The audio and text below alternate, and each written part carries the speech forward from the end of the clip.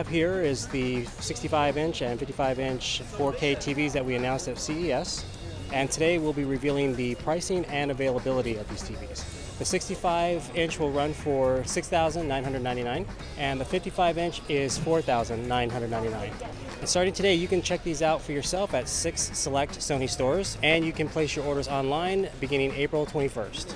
This is going to be Sony's first touchscreen live production switcher solution. And what we have here is a live production solution that encompasses a video switcher, an audio mixer, a real-time web streaming encoder, title and character generator, and effects generator all in one solution. We've managed to simplify it by encompassing it in one product that is totally operated by touchscreen. You'll, you'll feel like you're operating your Xperia tablet or your Xperia mobile phone.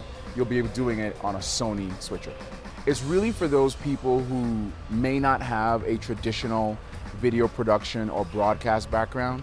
This area is actually showcasing our NXL IP live production unit product. Sony's really now jumping into allowing customers to transmit their video as well as control signals over an IP or network infrastructure. So what that really opens the door for is for those customers who have um, facilities where the control room and the studio are not in the same location, use the standard Ethernet network infrastructure to transmit the video across the facility. What we have here today in Sony's booth is the PMW 400. The 400 can do 50 megabit 422 recording.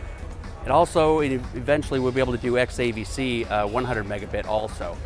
The, this camera will be out in um, later in the fall, late summer of uh, 2013. It's not available yet. The PMW 400 is an ideal camera for news. It's a good camera. It's going to give you great performance, uh, but at an affordable price point.